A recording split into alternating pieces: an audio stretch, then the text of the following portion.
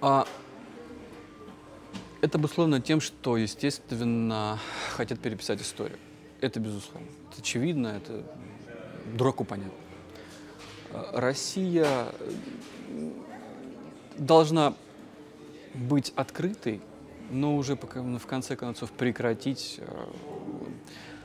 э, прекратить упиваться иллюзиями, что во всем мире кто-то кого-то там любит.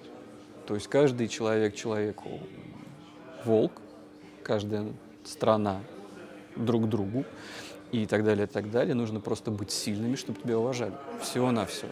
Были бы мы Советским Союзом, никто никого в голову, просто в бошку бы не втемяшилось, не пришло подобного рода там что-то кого-то не уважать. Но поскольку нас развалили, или мы сами развалились, да, мы теперь вынуждены это терпеть.